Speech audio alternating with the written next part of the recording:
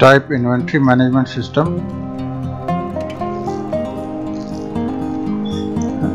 right click करें और इसको पिन टू टास्क बार कर लें।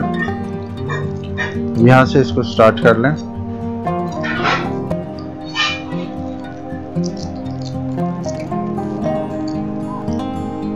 यूज़र नेम भी एफ़ है स्मॉल लेटर्स में, और पासवर्ड भी एफ़ है स्मॉल लेटर्स में।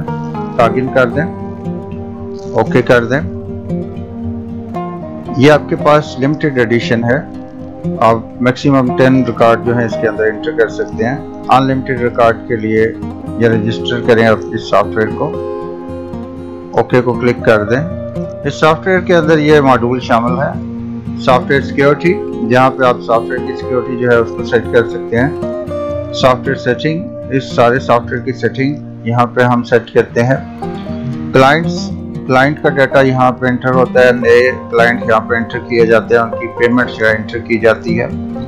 इसके बाद फिर कंपनी या मैन्युफैक्चरर, नए कंपनी या मैन्युफैक्चरर का डाटा यहाँ पे एंटर करें और उनकी पेमेंट एंटर करें। आइटम की डिफरेंट कैटेगरीज यहाँ से हम मैनेज करेंगे। सप्लायर की इंफॉर्मेशन और उनकी पेमेंट यहाँ पे हम इंटर करेंगे। आइटम्स के अंदर नए आइटम्स को ऐड करना, उनकी क्वांटिटी को ऐड करना और उनकी क्वांटिटी को एडजस्ट करना और उनके सारा जितनी भी लिस्ट है वो यहाँ पे आपको मिलेगी।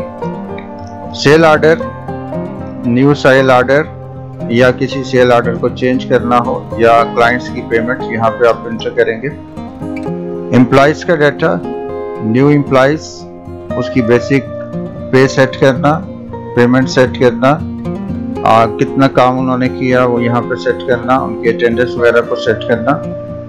फिर पेमेंट के अंदर क्लाइंट की पेमेंट सप्लायर या कंपनी की पेमेंट और एम्प्लॉयज़ की पेमेंट यहाँ पे एंट्री कर सकते हैं आप। अकाउंट्स के अंदर जितनी भी आपकी पेमेंट्स डेली के जितने भी इनकम एक्सपेंसिव हैं वो यहाँ पे और उनकी रिपोर्ट्स यहाँ पे जनरेट होगी।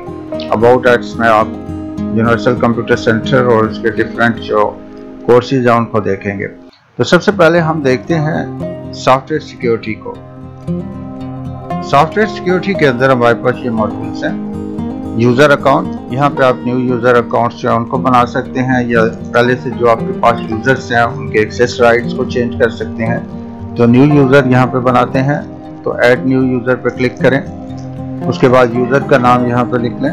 फॉर एग्जांपल, अली लिख लें। उसका पासवर्ड लिखें। री टाइप पासवर्ड यहाँ पे आप उसको अपने यूज़र का टाइप यहाँ पे बताएँगे कि एडमिनिस्ट्रेटर है रीड राइट या रीड ऑनली एडमिनिस्ट्रेटर अकाउंट के अंदर ये सारे जितने भी ऑप्शन हैं यहाँ पे अवेलेबल होंगे. रीड राइट के अंदर आपकी मर्ज़ी पे आप मुख्तलिफ़ ऑप्शन को यहाँ पे सिलेक्ट कर सकते हैं. जो जो आप मॉड्यूल जो है वो इस यूज़र को देना चाहें उनको सिलेक्ट कर लें. और रीड ओनली के अंदर वो सिर्फ़ जो है कोई भी डाटा इंटर नहीं कर पाएगा, सिर्फ़ रिपोर्ट्स को देख सकेगा. तो इसको हम रीड राइट कर लेते हैं। इसके बाद यहाँ पे क्लिक करके आप यूज़र की जो पिक्चर है उसको सेट कर सकते हैं। इसके बाद यहाँ पे उसको ओके कर दे। तो आपके पास ये न्यू यूज़र यहाँ पे उसका अकाउंट आ जाएगा। अब अगर आपने किसी यूज़र की एक्सेस राइट को चेंज करना है तो सिंपली उस यूज़र को सिलेक्ट करें और जो जो आप उसको एक्सेस राइट देना चाहते हैं, यहाँ पे आप उसको सिलेक्ट करें और चेंज एक्सेस राइट और ओके कर दें। अब अगर आपने इस यूज़र के अकाउंट को डिलीट करना है तो सिंपली इस यूज़र को सिलेक्ट करें और डिलीट यूज़र। और यस कर दें तो ये रिकॉर्ड आपका डिलीट हो जाएगा। इस मॉड्यूल को क्लोज कर दें। नेक्स्ट मॉड्यूल के अंदर आप अपना पासवर्ड जो है, उसको चेंज कर सकते हैं। तो चेंज पासवर्ड के अंदर आए। अपना यूज़र नेम यहाँ पे लिखें। पहला जो आपका पासवर्ड है, वो लिखें।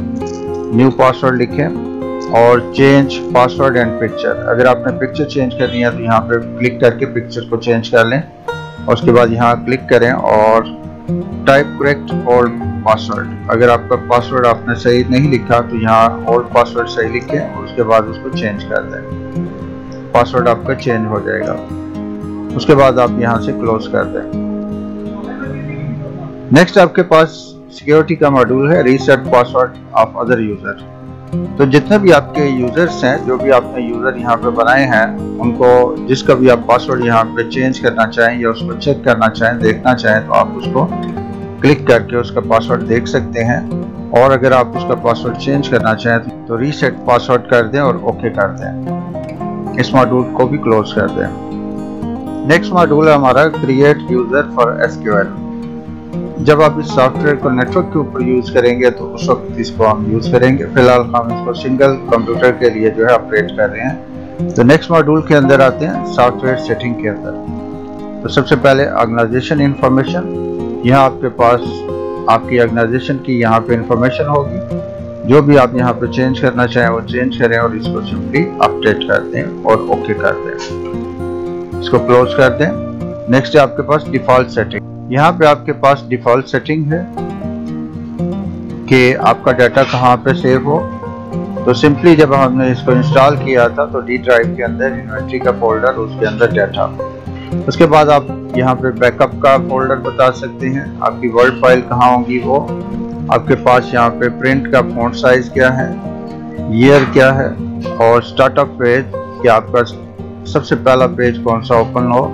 यहाँ आपके पास डिफरेंट ऑप्शन है। जैसे आपके पास यहाँ पे वेलकम का पेज है तो स्टार्ट में वो आपके पास है अगर आप चाहते हैं कि यहाँ पे कोई और पेज यहाँ पे ओपन हो, जैसे सिक्योरिटी का पेज ये जो ओपन है अभी, इसको डायरेक्टली आप ओपन करना चाहें तो इसको आप कर सकते हैं। तो इसको सिंपली आप वेलकम पे रखें। उसके बाद प्रिंट फॉर्मेट है आपके पास, कि जब फ़ाइल प्रिंट हो, वो वर्ल्ड के फॉर्मेट में हो, या पीडीएफ या दोनों का तो जो भी यहाँ पे सेट कर दें बोथ कर दें आप।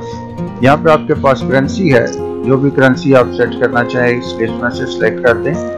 कैटेगरी जो भी आपने कैटेगरीज बनाई होंगी, उनकी लिस्ट यहाँ पे आएगी।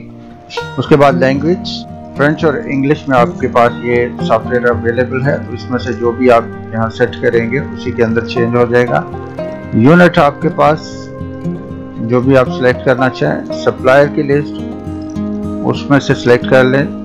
जो डिफ़ॉल्ट आपका सप्लायर है, इसी तरह से मैनुफैक्चरर की लिस्ट है यहाँ, वो भी आप डिफ़ॉल्ट सेट कर लें और इसके बाद इसको आप अपडेट कर देंगे।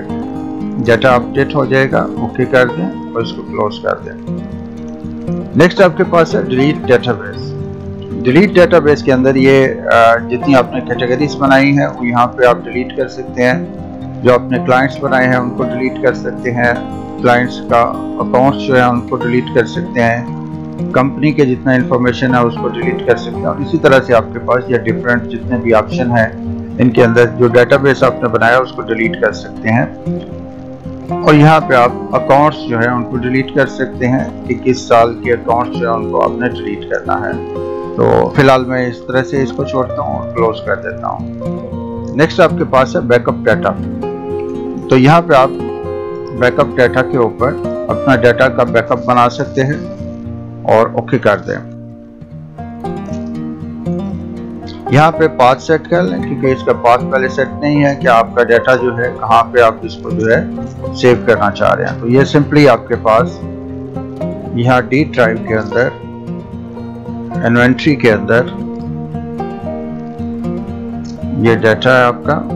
ये पाथ यहाँ से आप इसको सेट कर सकते हैं। यहाँ पे आपके पास बैकअप का फोल्डर है। और यहाँ पे आपके पास वर्ल्ड की फाइलें हैं। इसको सिंपली सेव कर दें ओके कर दें, उसको हाइड कर दें। बैकअप डाटा आप कर सकते हैं, ये आपके पास डाटा का बैकअप पड़ जाएगा। रिस्टोर में जो आपने डाटा बैकअप किया होगा, उनकी लिस्ट आएगी यहाँ पे।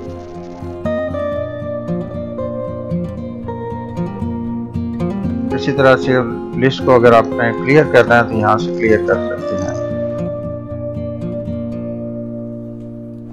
और ये आप उसका पाथ जो है, उसको सेट कर सकते हैं। इसको भी आप क्लोज कर दें। नेटवर्क कंप्यूटर्स अगर आप नेटवर्क के ऊपर इस सॉफ्टवेयर को यूज़ करेंगे तो जितने भी कंप्यूटर यहाँ पे अटैच होंगे, उनकी लिस्ट यहाँ पे आएगी।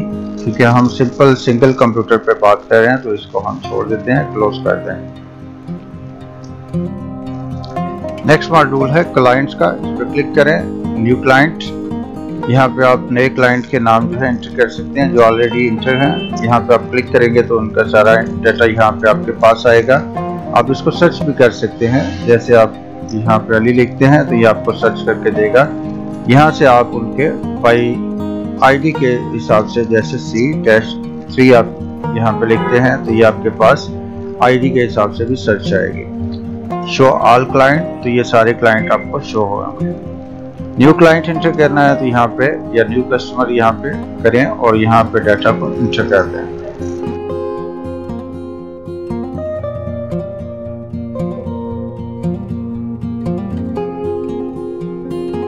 ओके कर दें। अगर किसी भी डाटा को अपडेट करना है तो सिंपली सेलेक्ट करें और उसके अंदर जो भी डाटा आपने चेंज करना है, यहाँ पे आप आके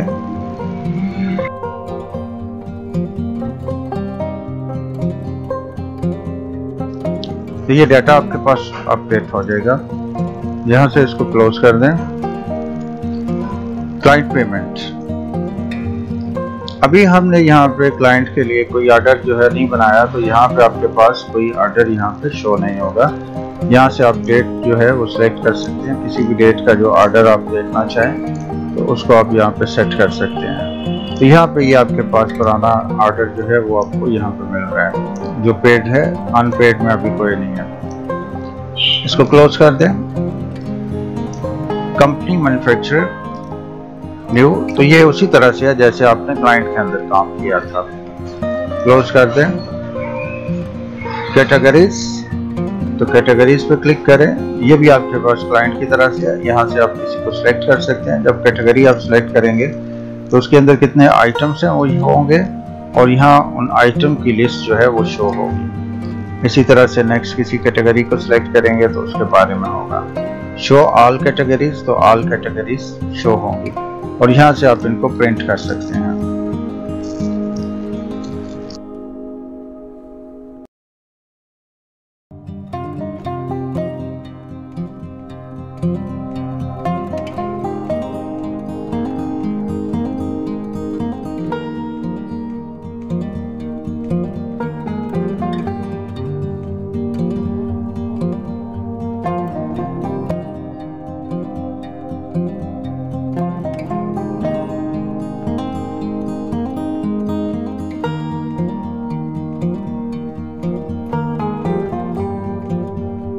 इसको यहाँ से क्लोज कर दें। सप्लायर इंफॉर्मेशन उसी तरह से, जिस तरह से क्लाइंट है सिंपली आप यहाँ से सिलेक्ट कर सकते हैं न्यू सप्लायर अपडेट कर सकते हैं शो सब कर सकते हैं, इसको भी सिंपली क्लोज कर दें। इसी तरह से इनकी पेमेंट है। अभी यहाँ पे आपके पास कोई पेमेंट यहाँ पे जो ड्यू होगी, वो शो हो जाएगी। ये डिफरेंट पेमेंट्स हैं यहाँ पे।